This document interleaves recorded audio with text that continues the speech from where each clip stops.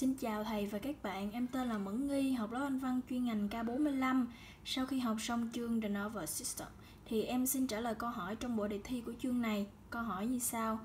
Which one of the following is a function of parasympathetic nervous system? A. Stimulate oil and sweat gland in the skin. B. Pupil constriction. C. Acceleration of heartbeat. And D. Contraction of hair muscle. Câu hỏi này được dịch ra như sau. Câu nào sau đây là chức năng của hệ thần kinh phó giao cảm? A. Kích thích dầu và tuyến mồ hôi trên da. B. Co đồng tử. C. Làm tăng nhịp tim. Và D. Là co cơ tóc. Trước khi trả lời câu hỏi này, em xin được nói sơ qua về hệ thần kinh phó giao cảm. Thì trong hệ thần kinh của con người về mặt chức năng sẽ được chia ra là hệ thần kinh tự chủ autonomic và hệ thần kinh somatic. Ở hệ thần kinh tự chủ autonomic nó sẽ được điều chỉnh ở vùng dưới đồi, thực hiện chức năng dinh dưỡng, chi phối các đáp ứng xảy ra bên trong cơ thể và không theo ý muốn. Còn ở hệ thần kinh somatic, theo trang của The University of Queensland định nghĩa, thì the somatic nervous system is also known as the voluntary nervous system. Và hệ thần kinh somatic này sẽ đảm nhận chức năng liên hệ với thế giới bên ngoài.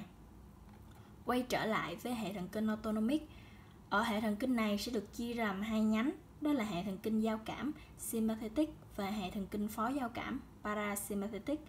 Trung tâm của hệ thần kinh phó giao cảm nằm ở thân não cho sợi đi theo dây 3, 7, 9, 10 và sườn bên cho sắm tủy sống cùng 1 đến 4. Đây là sơ đồ của hệ thần kinh tự chủ và thần kinh phó giao cảm là nhánh có màu xanh dương.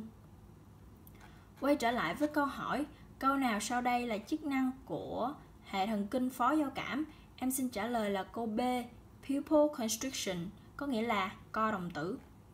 Ở câu A, kích thích dầu và tuyến mồ hôi trên da chúng ta sẽ không chọn vì đây là chức năng do hệ thần kinh giao cảm đảm nhiệm và tuyến mồ hôi thì hệ thần kinh phó giao cảm không có chức năng này. Ở câu C, làm tăng nhịp tim chúng ta cũng sẽ loại vì hệ thần kinh phó giao cảm sẽ làm chậm nhịp tim bởi sự kiểm soát của dây thần kinh số 10. Ở câu D, co cơ tóc, chúng ta cũng sẽ loại vì sự co thắt của cơ, sau đó là những căng thẳng không tự nguyện như cảm lạnh, sợ hãi có thể kích thích hệ thần kinh giao cảm và từ đó mới gây ra sự co thắt. Còn ở câu B, co đồng tử, chúng ta sẽ chọn vì đây là một trong những chức năng của hệ thần kinh phó giao cảm, đó chính là co đồng tử và cơ mi. Em xin cảm ơn thầy và các bạn đã chú ý lắng nghe.